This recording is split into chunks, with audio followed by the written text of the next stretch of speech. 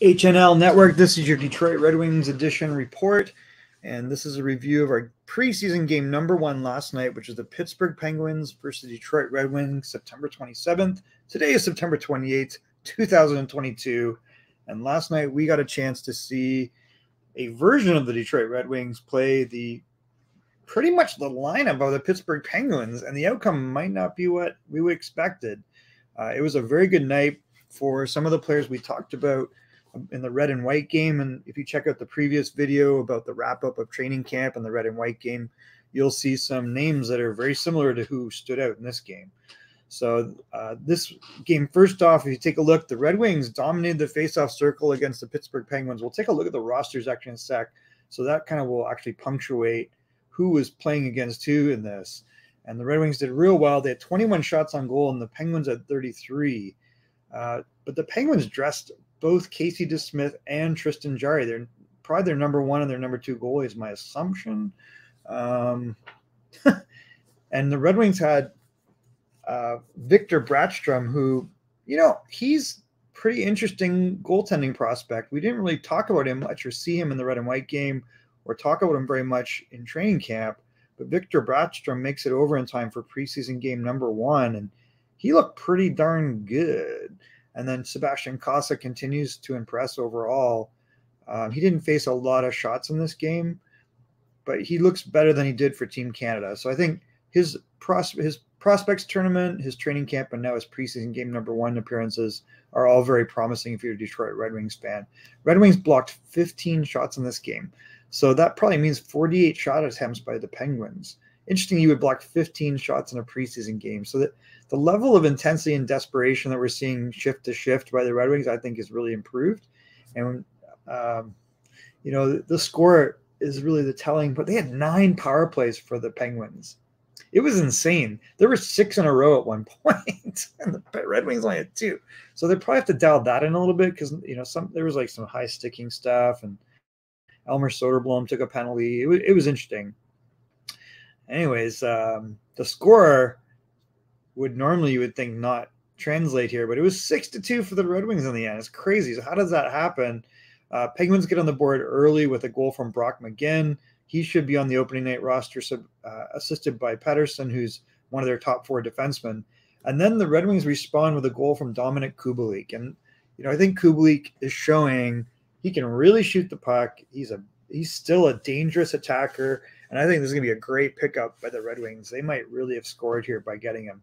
In the second period, then we saw Filip Zadina continues to impress. He he might have been the top player overall in this team. Like he just continues to show speed, great playmaking, intensity.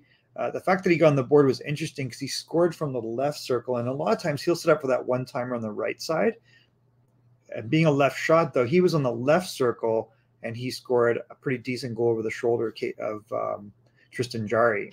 So Tristan Jarry, who's you know probably their number one goalie again, uh, well for sure. I mean, he was Vezina Trophy candidate at least last year. Did he win it? I can't remember who won the Vezina last year, um, but he was in the mix. Like he was the reason Pittsburgh was in the playoffs last year. It's preseason, so we don't get too crazy, but you know, good showing by Zadina. Rasmussen looked really good, and didn't see much from. Uh, well, actually, we saw a lot from Jonathan Berggren as he assisted on the next goal with Elmer Soderblom. And I mentioned Austin Czarnik.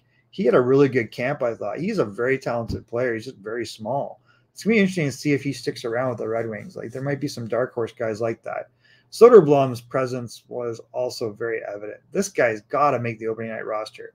I think you heard from the interview with uh, Derek Lalonde that they're trying to give Elmer Soderblom as many chances as possible so they can see him. And I just think the more you watch this guy, the more you're going to fall in love with him. Uh, Steve Kampfer then gets on the board and assists from Zadina. This is a power play goal. I don't think Kampfer is going to be on the opening night roster, but you never know. Like he just might be a six seven type utility defenseman. Otherwise, you know, he'll be in the AHL with Grand Rapids. Then Bryan Rust, they switch goalies halfway on both teams, and Bryan Rust comes in and backhands a really nice goal over the shoulder Sebastian Cossa. Uh, considering Cossa's six foot six or six foot seven, depending on how you measure him, it was kind of a crazy goal when you go back and watch it. Assisted by Jason Zucker.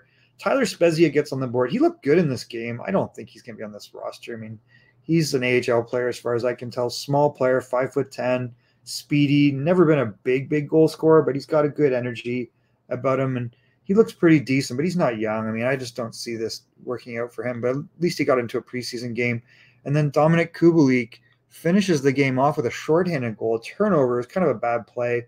He came around the left post on on the PK, and there was a lot of them. There's nine PKs for Detroit. came around, took the puck from Casey Smith, and stuffed it pretty much in the open cage to finish the game off six to two. So you know this all seems like ah it's preseason, but look at who Pittsburgh dressed in this game. They had Malkin, they had Crosby who was a minus three, and he was getting offensive opportunities. Rickard Rakell was on that line with Crosby, and Guentzel was in this game. Teddy Blueger, uh, Ryan Poehling. That's interesting. When did Ryan Poehling go to Pittsburgh? Am I missing something? I must have missed something on that. Uh, we'll have to check in with Coach Frenchy on that. Brock McGinn, who will be on the roster. Jake uh, Drake Caggiula, I hope, is on the roster. This guy's always been a useful scorer at kind of third line. He's not a big guy, and maybe he has some defensive. You know, you have some qualms if you're a coach about him defensively. Jason Zucker needs a big year. Like they need a big year at Jason Zucker. Uh, but you look at these are opening night guys for the most part. And eight, listen, 18 minutes for is it Radek Zohorna? I think this is the big Czech player that kind of came on at the end of last year. So these are all opening night guys. Brian Dumoulin, um, Jeff Petry, who's an acquisition from Montreal. Did he come over with Poehling? I don't remember that. Um, you know, Pedersen, uh, Ruda, Letang. like this is their opening night roster in the NHL pretty much. and then you look at Detroit, and you know you, you don't have any, you don't have Tyler Bertuzzi, you don't have Dylan Larkin, you don't have Lucas Raymond in this game. But you saw great shifts from Zadina and Rasmussen. Jonathan Berggren looked great. You had Cross Hanas in this game. Tudiev played well. Kubalik was definitely, you know, tops. It's nice to see Elmer Soderblom get on the board. He only played 11 minutes, which was a little bit surprising to me. But he you know, this guy's gonna be really hard to keep off the roster. I don't see how you don't want him on your roster. And then on defense, it was kind of interesting. We know that Detroit's really emphasizing improving defensively. Olli Maatta played solid. Uh, played solid as his partner. We don't have Moritz Seider in this game. We don't have Ben Chiarot. We have Jared McIsaac, who you know he had some. He played logged a lot of time, 19 minutes. He was a minus one, but I thought he played pretty well. Um, Viro, the Finnish defenseman, I keep saying this guy might make the opening night roster. He's quick. He's physically, he's like engaged. He's got an active stick. He's hard to play against one on one. I don't see Kampfer on this opening roster, but you never know. Like he played 19 minutes last night. He's you know capable of playing six, seven minutes, like six, seven line, uh, you know, number six, seven defenseman minutes in the NHL. And Jordan Oesterle, I would assume, would be on the opening night roster, but again, is a six, seven in his case. And then we mentioned, you know, um, Sebastian Cossa, seven of eight, didn't face a lot of shots in his half of the game. Victor Brattstrom had a little bit more action, 11 of 12 shots he stopped. So this was overall pretty good showing for Detroit.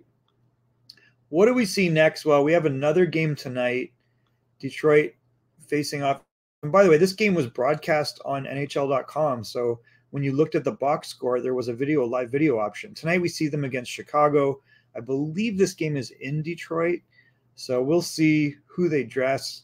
Um, I think what they're saying is that tonight, Olkinuora, who we saw in pre in the red and white game, is paired with Andrei Nedeljkovic. So that's what's showing right now is being dressed tonight. And they're I don't know they're they're showing every single player though on the roster. So I don't I don't know who's actually in tonight. We'll have to check the internet. Uh, do we get to see Petr Mrazek tonight for Chicago? Is Alex Stalock in? Not sure. There's a lot of, you know, this is a stripped down Chicago Blackhawks roster. So there's a lot of guys fighting for jobs. Um, maybe we get to see Lukas Reichel, who I'm pretty excited about. But other than that, I mean, Jonathan Toews and Patrick Kane, they're in their last year with this team. So you got to think at some point, this might be our last chance to see them in Chicago uniforms. I cannot see them wanting to return to this, and it, I can't see them not getting traded. like that would be crazy. They've got to move these guys for their sake, and well, really for their sake, and get some assets back for these legends. Anyways, we look forward to game tonight. Detroit Red Wings versus Chicago Blackhawks. This is your update on HNL. And we look forward to seeing an update. We will provide an update on the game versus Chicago tomorrow.